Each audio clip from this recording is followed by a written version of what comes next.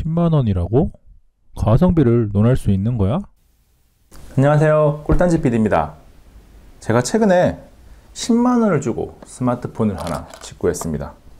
중국에서 나온 리에코란 회사의 X522 모델인데요. 리에코란 회사는 중국에서 뭐 가전제품이나 뭐 다양한 어떤 소모품이라 그래야 되나 아무튼 그런 제품들을 만드는 회사인데요 이 회사의 회장이 좋은 괴짜라서 나도 한번 스마트폰을 만들어 보자 라는 생각으로 다양한 라인업의 스마트폰을 출시했었습니다. 뭐 Snapdragon 800 시리즈가 들어간 제품을 2, 30만 원대 판매하기도 했고요. 제가 구매한 X522 제품은 Snapdragon 652가 들어갔는데 단돈 10만 원에 판매를 했습니다. 그런데 망했습니다. 회사가 망한 건 아니고요. 스마트폰 사업부만 망했어요. 그래서 스마트폰 사업부, 뭐 우리가 흔히 얘기하는 모바일 사업부가 망해서 남아있는 재고를 계속 처리하고 있는데요. 과연 10만원짜리 스마트폰으로 무엇을 할 수 있을지 들여다보겠습니다. 네, 먼저 박스를 보시겠습니다. 박스는 제법 그럴싸합니다. 그런데 한 가지 좀 이상한 게 이게 무슨 스마트폰, 휴대폰 매장에서 막 전시를 해놓고 보여주기 위해서 꺼내놓은 제품 같기도 하고 누군가 뭐 반납을 환불했던 제품인 것 같기도 하고 아무튼 마치 사람의 손때가 상당히 많이 묻어 있는데요. 뭐 10만 원짜리니까 그냥 이해하고 반품하지 않았습니다. 네, 제가 선택한 제품은 X522 중에서도 골드 색상인데요. 한번 열어서 보겠습니다. 제품을 보면 재밌게 제가 분명히 색깔을 골드 색상을 골랐었는데 네, 색상이 실버인가? 실버가 왔더라고요. 뭐 뭔가 깨름직하긴 하지만 이 제품을 여러분들한테 소개하는데 색상은 뭐 중요하지 않으니까요. 일단 넘어가고요. 그 다음에 설명서가 있는데 설명서가 다행스럽게도 네 영어입니다. 네, 중국어 아니라서 역시나 다행입니다. 그리고 안쪽에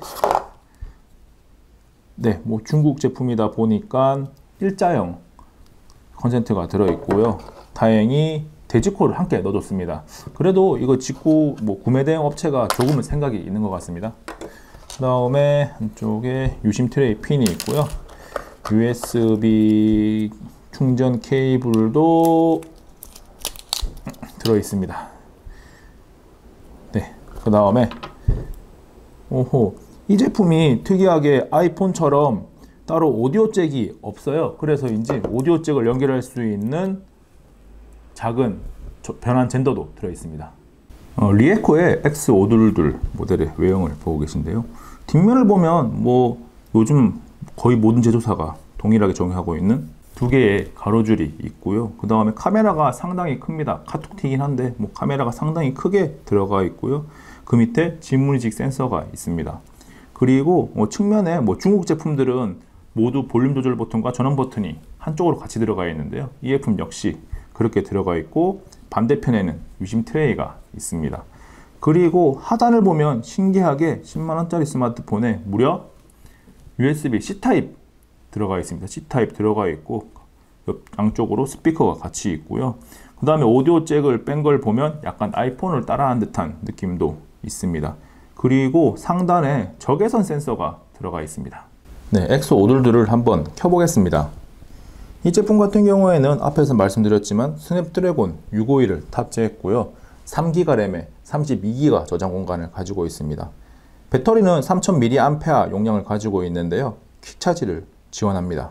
뭐 10만원짜리 치고는 뭐 스펙이 충분히 준수합니다. 네, 제품이 켜져 있는데요. 빠르게 넘어가겠습니다. 네, 언어를 한번 보고 있는데요. 설마 설마 설마. 아 네 한국어가 있습니다. 네 모두 건너뛰고. 네 지금 최초 부팅한 상태를 보고 계신데요. 뭐 UI 자체는 상당히 기본적입니다. 구글의 기본 OS가 가지고 있는 UI를 비슷하게 가져간 것 같기도 하고요. 지금 아하 앱서랍이 스크롤로는 넘어가지 않고 네 이쪽에 앱서랍 버튼을 누르면 넘어갑니다 그리고 보면 어허, 디스플레이가 5.5인치 FHD인데 지금 보시면 이 켜지기 전에는 굉장히 베젤이 없는 것처럼 보이는데 켜지고 보니까 구라 베젤이 좀 심하게 있습니다. 뭐 이번에는 벤치마크를 한번 돌려보겠습니다. 먼저 긱벤치 4를 한번 돌려볼 텐데요. 뭐 기본적으로 스펙이 그렇게 높지는 않기 때문에 뭐 높은 점수를 기록할 것 같지는 않은데 아무튼 어느 정도 점수가 나오는지 한번 보겠습니다.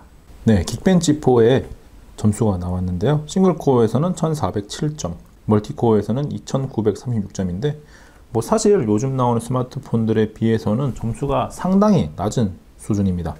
그러면 이번에는 네, 안토투를 한번 돌려보겠습니다. 워낙 안토투가 점수 조작이 심하다고 알려져 있어서 뭐 믿을만 하지는 않은 게 사실이지만 그래도 긱벤치 하나만 돌려보기보다는 안투투까지 함께 돌려서 점수를 확인하겠습니다.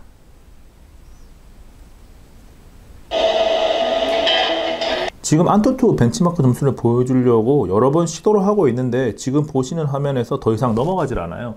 지금 시간이 한참 지나도 안 넘어가고 여러 번 중지했다가 다시 시작해도 안 넘어가는 걸로 봐서는 지금 AnTuTu하고는 좀 충돌이 일어나는 것 같은데요. 일단 AnTuTu는 포기하고 넘어가겠습니다. 그러면 요즘 스마트폰의 성능을 테스트하는 대명사가 된 배틀그라운드 모바일을 한번 해보겠습니다. 지금 로딩 시간이 생각보다 조금 걸릴 것 같은데요. 실제로 어느 정도 시간이 걸리는지 보여드려야 성능을 가늠할 수 있기 때문에 빨리 감지 않고 그대로 다 보여드리겠습니다. 아마 제가 앞에 한두 번 먼저 켜봤는데 생각보다 좀 시간이 길더라고요. 뭐 Snapdragon 652에 3기가 램, 뭐 32기가 저장 공간을 가지고 있다고는 하지만 뭐 기본적으로 최적화 상태가 그렇게 좋을 거라고는 생각하지 않습니다. 지금 이 폰 같은 경우에는 custom ROM 시장에서는 꽤나 유명한 Lineage OS가 기본 탑재되어 있는데요. 리니지 OS가 기본적인 환경은 굉장히 쾌적한데 뭔가 앱 연동이라든지 좀 뭔가 고급스러운 것을 하기 위해서는 약간 부족한 감이 있거든요. 어, 일단 그 제가 말씀을 드리는 가운데 로딩이 떴고요. 네, 조만간 켜질 것 같습니다. 네, 로딩 들어가서도 어, 시간이 제법 네, 이 정도 걸렸습니다. 시간은 뭐 사양이 높지 않기 때문에 제법 걸렸고요. 화면 설정에 한번 들어가서 보면 네, 최대로 네, 역시 HD 안 되고 밸런스까지 지원을 하고요. 원R 그 다음에 FPS 높음으로 해서 게임을 한번 실행을 한번 해보겠습니다. 네, 지금 이제 배틀그라운드 모바일을 하고 있습니다. 일단 뛰어내려서 무기를 확보하고 한번 움직임이 어느 정도인지 한번 보겠습니다. 뭐 일단 기본적인 움직임 자체는 뭐 그렇게 나쁘지는 않고요. 뭐 이 정도면 게임을 하는 것 자체는 네, 가능합니다. 이 그래픽 환경 자체가 낮음이기 때문에 얼마나 원활하게 할 수 있을지는 모르겠지만 게임을 하는 거는 가능하고요. 사실 뭐 게임을 하는 게 가능하다라는 거랑 잘 할 수 있다는 거는 분명히 틀린 거니까요. 네, 제가 말씀드리는 부분은 할 수 있다는 거지 뭐 원활하게 쾌적한 환경에서 할 수 있다는 얘기는 아닙니다. 일단 뭐 터치에 대한 반응 속도도 충분히 괜찮고요. 네.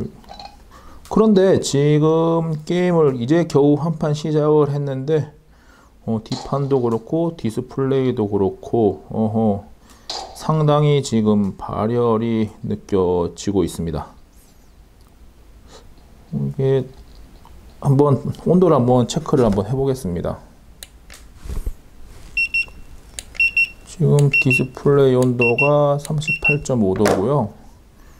뒷판의 온도가 아, 네, 뒷판의 온도가 39도에서 41도, 41도를 넘어가고 있습니다. 디스플레이 온도 같은 경우에는 38도 되면 뭐 그렇게 뜨고 많이 뜨거운 편은 아니거든요. 다른 스마트폰도 노트나 뭐 다른 스마트폰도 한 38도 정도는 기록합니다. 그런데 지금 뒷판이 지금 41도가 넘어가는 것을 확인했는데요. 41도가 넘어가게 되면 이게 손을 대고 있기가 좀 거북할 정도로 상당히 많이 뜨겁습니다. 어, 그래서 제가 지금 뜨겁게 느끼는 게 뒷판 온도 때문인 것 같고요. 이 정도 온도라면 사실 게임을 한 판 이상 하기는 힘든 정도입니다. 네, 제가 사용하고 있는 리니지 OS 자체가 기본 세팅이 굉장히 간결해서 뭐 많이 보여드릴 건 없는데 카메라를 한번 들어가 보겠습니다. 카메라를 들어가 보면 상단에 메뉴가 있는데 메뉴를 눌렀을 때 이런 식으로 좌측에 메뉴가 나오고요. 지금은 전, 전면 카메라, 후면 카메라를 바꾸는 건데 이게 시간이 좀 걸립니다. 전면 카메라에서 후면 카메라 전환이 뭐 시간이 걸리는 걸 봐서는 아 역시 싼 스마트폰이 맞구나 하는 생각이 들고요.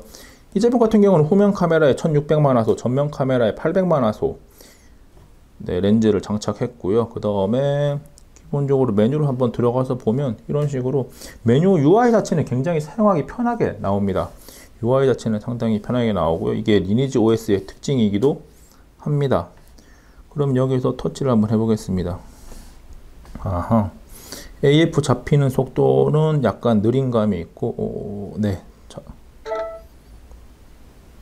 네, 이렇게 찍히고요. 결과물을 보면. 네, 지금 결과물 전환하는 것도 약간 느린 게 확인할 수가 있고요. 전체적으로 뭐 기본적인 화질은 그냥 일반적인 스냅 사진을 찍는 데는 괜찮은데 뭐뭐 뭐 대단한 뭐 예쁜 풍경 사진이나 뭔가 우리가 와 저거 스마트폰으로 찍은 게 맞아 하는 정도의 사진을 얻는 거는 힘들 것이라고 생각이 듭니다. 네, 지금까지 리에코 뭐 또는 리모바일이라고 하는 회사의 X522 모델 즉 10만 원짜리 중국산 스마트폰에 대해서 살펴봤는데요. 정리해보면 사실 10만 원짜리이긴 하고 스펙이 한 중급형 정도까지는 되는데 사실 가성비라는 표현을 붙이기는 조금 애매합니다. 뭐 기본적으로 영상을 시청하고 전화, 문자, 카카오톡 정도로 가볍게 사용하는 사람들을 위해서는 뭐 하나쯤 구매해도 괜찮을 것 같은데 게임을 한다거나 카메라 성능을 중시하는 등의 어떤 고급스러운 기능을 원하는 사용자에게는 굉장히 그다지 뭐 추천할 만하지 않습니다. 꿀단지 PD 개인적으로는 차라리 가성비 스마트폰을 찾는다면 뭐 20만 원대 아니면 10만 원대 후반에 구매할 수 있는 뭐 샤오미 홍미노트 5나 3, 40만 원대 뭐 프리미엄 스펙의 프리미엄 성능을 발휘하는 뭐 포코폰이 오히려 가성비를 나타내기엔 더 좋지 이 녀석이 10만 원이라고 해서 무턱대고 구매하는 것은 조금 생각해 봐야 합니다. 지금까지 10만 원짜리 중국산 스마트폰에 대해 살펴봤고요. 이번 영상은 여기까지입니다. 안녕. 잠깐 구독과 추천 누르셨나요? 구독을 눌러주시면 유익한 꿀단지 TV의 영상을 보다 빠르게 만나볼 수 있습니다. 여러분의 구독과 추천으로 꿀단지를 채워주세요.